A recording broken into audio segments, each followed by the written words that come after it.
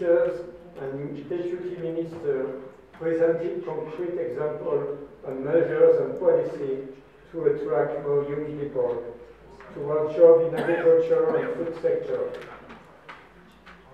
They stressed the fact that strong policy dedicated to youth are necessary, dealing with sufficient income, facilitating access to agricultural land and investment, and leading to youth Sayın FAO Türkiye temsilcisi, Sayın Türk, Avrupa Birliği Türkiye temsilcisi, değerli katılımcılar, hepinizi şahsım ve genel adına sevgi ve saygıyla selamlıyorum.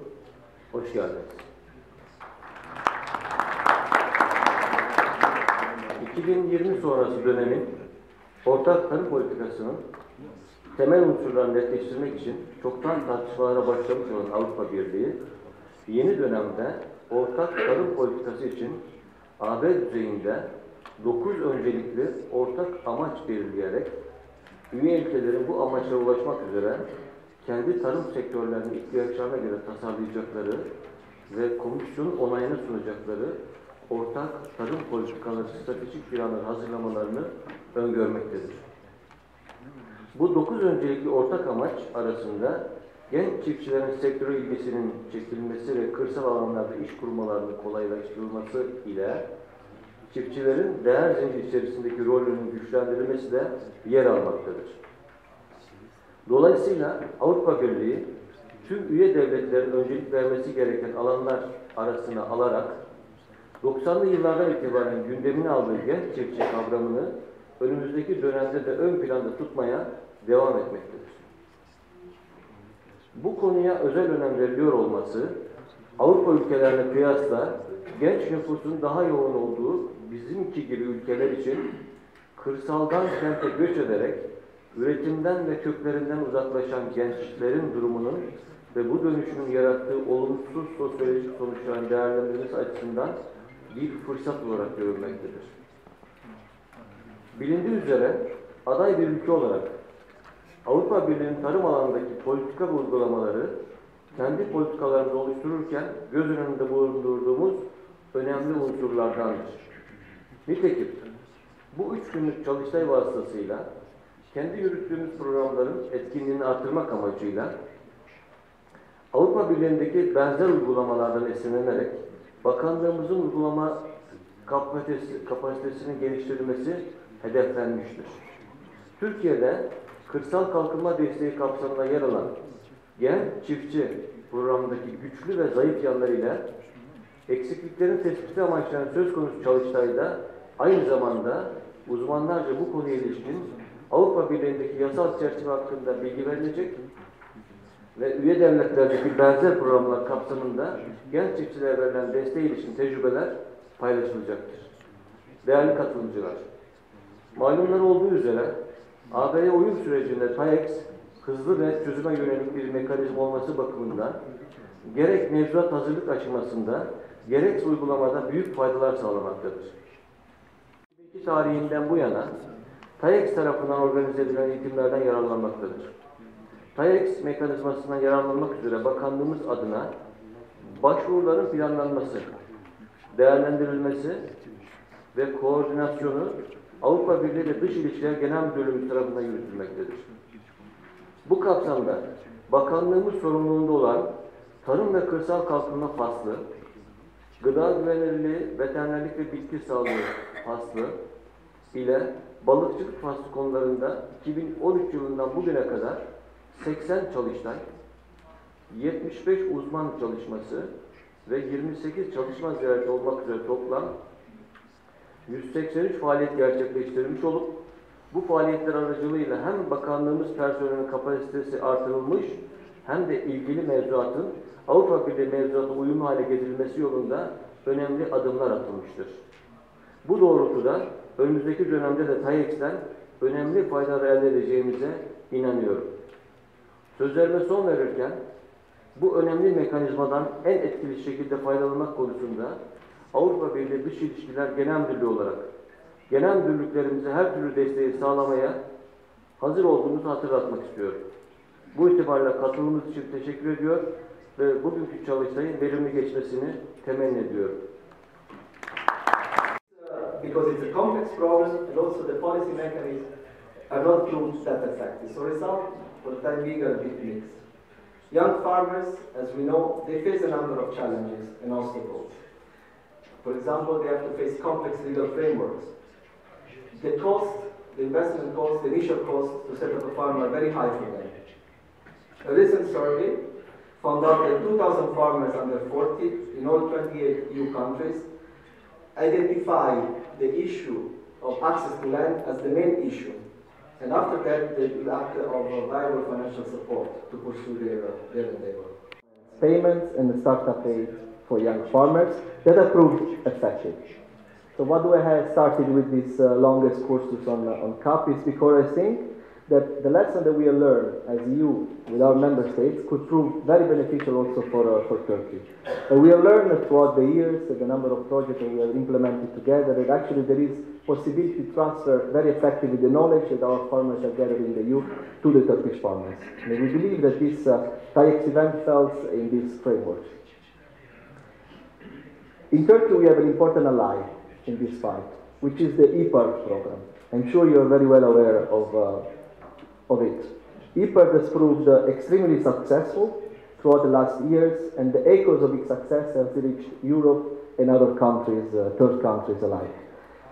12,000 projects on farm, food Malumunuz üzere e, Bakanlığımız e, Tarım Reformu Genel Müdürlüğü hem ulusal hem de Avrupa Birliği kaynaklarıyla çok ciddi e, kırsal kalkınma çalışmaları ve destekleri programını devam ettirmekte. E, bizim e, kırsal kalkınmada Bakanlığımızın ulusal bütçeli kırsal kalkınma yatırım destek programı var malumunuz ve bu çok olumlu yansımaları oluyor. Bunun yanı sıra İPART dediğimiz TKDK'nın yürüttüğü projeler var ki burada da tarım reformu bu programın yönetim otoritesi, bütün programın hazırlığından, bütçelenmesinden ve notifikasyonlarından sorumlu olan bir genel müdürlüğümüz. Bu çalışmalar e, bizim tabii e, hedefimiz kırsal kalkınmayı sağlamak, kırsaldan kentlere göçü azaltmak bir taraftan. Ancak bunun yanı sıra bizim e, ülkemizin çok ciddi yöre potansiyeli var ve bu potansiyelin de harekete geçirilmesi, daha sağlıklı nesillere e, ulaşabilmek ve daha sağlıklı beslenebilmek e, birçok e, yani söylenecek çok fazla söz var. Dolayısıyla bu genç çiftçi programı da bizim bu çalışmalarımızdan bir tanesi. Burada yararlanıyoruz. Evet. Onun dışında kendi özel durumlarımızı da ortaya koyarak bu programı hazırlıyoruz. 2016, 2017 ve 2018 yıllarında genç çiftçi programını uyguladık. Yaklaşık 30 bin lira civarında bir e, ücret vererek e, birçok gencimize ve kadınlarımıza kırsalda iş imkanı sağladık. Bu programdan e, yüzde 60'ı e, hemen hemen e, kadın çiftçilerimizdi ve ya 5000 aileyi de bu programda genç çiftçi projesiyle köylerine geri dönmelerine vesile olduk. Çalışmaları destekliyoruz. Bu dönemde de e, bu uygulamaları takip edeceğiz. Bu çalıştayda da yeni trendleri de göreceğiz. Ve buna göre de yeni programımızı belirleyeceğiz. Ben tekrar teşekkür ediyorum. Saygılar sunuyorum. international community, ladies and gentlemen. It's a great honor to be with you today. And uh, I'd like to start to begin with special tha- thanks to the European Union Commission and the Minister of Agriculture and Forestry for their collaboration on making this event possible. Dear colleagues, agriculture is at the heart of our lives. Much of what we consume and use as vegetables, cut flowers, even the clothes we wear. It is evident that farmers play a unique role in our lives. However, we also expect them to oversee the natural landscape, combat the impacts of climate change, and preserve agricultural diversity. Yet the discussion on how to form a healthy and sustainable food system, bring a healthy diet to consumers, innovation to the food industry, and a fair livelihood to farmers for the future are still ongoing in many countries. Well, there is one thing for certain, and that is that farming in 2050 will be different from what we know today, just as it is compared to 1980.